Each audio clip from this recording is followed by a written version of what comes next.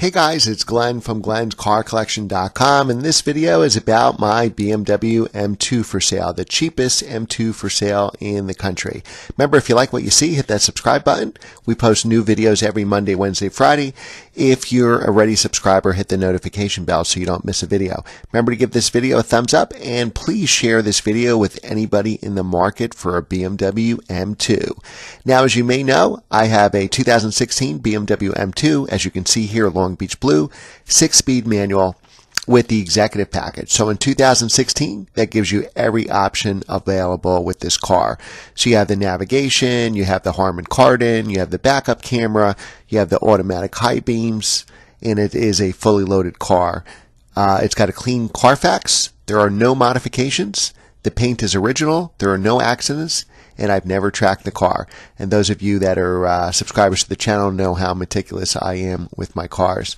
Uh, the only reason I'm selling it is because I have 2019 M2 competition on order and the car is already built and on its way. So either this car is going to get traded into the dealer or hopefully I can sell it to an enthusiast, especially it would be great to a subscriber of the channel. There's a good look at the backup camera. Now, this car I took delivery in of May 6, 2016. So it's got four years, 50,000 miles, free maintenance, and bumper to bumper warranty from that point. So you won't, neither will expire until May 6th of 2020.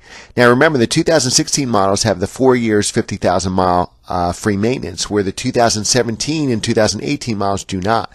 They only get three years of free maintenance. So why did BMW drop the fourth year? Because that's when you start getting into the expensive maintenance. So not only will you save money buying a 2016 or a 2017, you'll really save money in that fourth year. Now who knows if the M2 will ever be collectible? We probably won't know for 20 years. But if the M2 ever does become a collectible car, the cars that have the most collectability, like any car, Porsche 911s, Vipers, NSXs, is always the first model year and the last model year. So a 2017 car, potentially, will never be worth what a 2016 will be you know, only if it becomes collectible 10 or 20 years from now.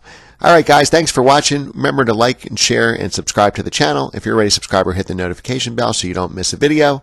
And if you know anybody in the market for an M2, please share this video. You can email me if you're interested at glennscarcollection at gmail.com. Thanks again for watching, and we'll see you next time.